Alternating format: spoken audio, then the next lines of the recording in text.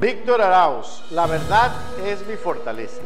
Guillermo Lazo, en cualquier cuadrilátero moral, con manos atadas a la espalda, estoy presto para decir las verdades en su cara. Ecuador recordará que usted se hizo el desentendido mientras un extranjero denigraba y desprestigiaba a la policía del Ecuador. Miremos.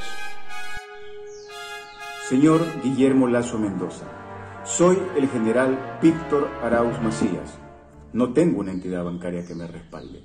Me hubiera gustado referirme a usted como señor presidente, pero a la luz de todo lo que la ciudadanía ya conoce y de cómo se encuentra nuestro país, tan solo me referiré a usted como señor Lazo.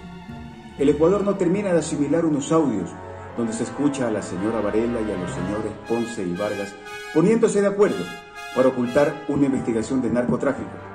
Sí lo tiene claro, ¿verdad?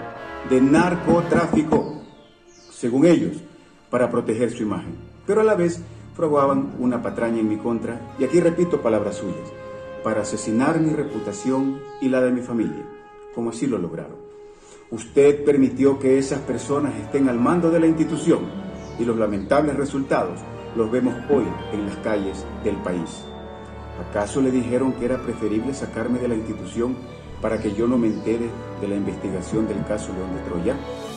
Ahora usted pretende ofender la inteligencia de los ecuatorianos, diciendo que no sabía nada. ¿Sabe tal vez cómo se desangra nuestro país víctima de la violencia? Sicariatos, extorsiones, homicidios, secuestros, ahora son el pan de cada día. A usted no le queda bien el papel de santo, señor Lazo.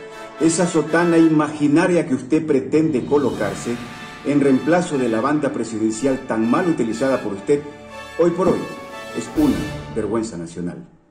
A usted le quedó grande el papel de comandante y jefe de la Policía Nacional, señor Lazo, porque una institución que debe estar al servicio de la ciudadanía no puede estar liderada por una persona que lo utilizó para beneficio propio. Hasta pronto, señor Lazo. Víctor Arauz le está diciendo la verdad al señor Lazo y le está diciendo que la verdad es la fortaleza de él, es decir, lo está retando, lo está retando y le está diciendo, mire, aquí estoy yo, porque yo sí tengo que decir la verdad. Que Dios lo proteja a Víctor Arauz y no sea que mañana amanezca como amaneció Chávez. Porque cuando se hay desacuerdo con los gobiernos neoliberales, lo primero que hacen es desaparecer a la gente. Si no, un ejemplo, aquí Colombia, antes de Petro, a todo el mundo asesinaban. A todo el que no estaba de acuerdo lo asesinaban. ¿Quiénes lo asesinaban? Los de la derecha. ¿Y a quiénes le echaban la culpa? A los de la izquierda. Así son los de la derecha. Son cobardes. Esa es la palabra. Así es que Víctor Arauz, adelante. Si la verdad es su fortaleza, dígalo. Grítelo a los cuatro vientos que el país lo escucha.